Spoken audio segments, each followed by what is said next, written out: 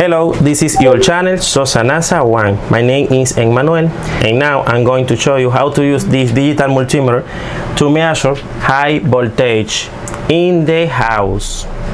In this case, we are going to use this digital multimeter to measure 200 volts, more or less.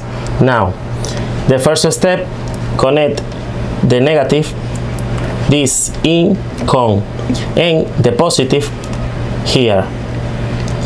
Volts ohms milliampere in this part. Good. Now turn on this digital multimeter.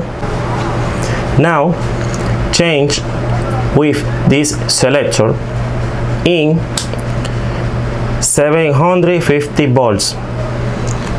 I mean in this part because now we are going to measure 200 volts more or less. And 750 volts is higher than 200 volts. Now our digital multimeter is ready. Now let's to take this tip. And in this case we are going to use like example this power outlet. In this case. Now introduce first here in this position.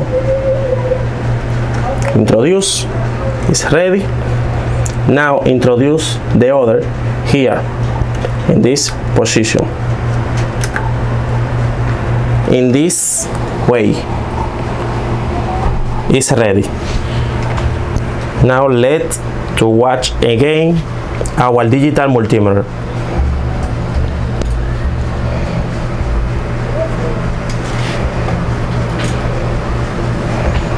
Like we are watching now the voltage on the multimeter screen is 240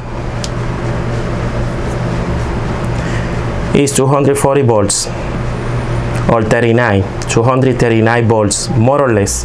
And in this way you can measure high voltage in the house using this digital multimeter in this way like we are watching now. If you see the number on the multimeter screen the change is little.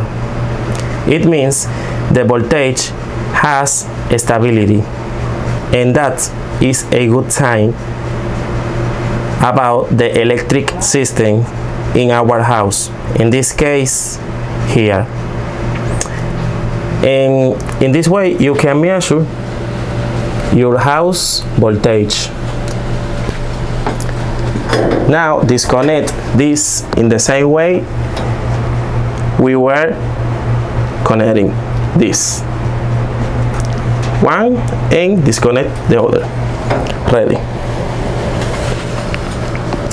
Now multimeter screen is 0 0 0 because I disconnect these connectors from the power outlets.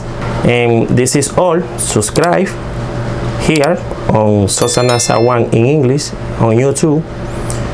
Uh, share this video give me a like and thank you for watching. See you next time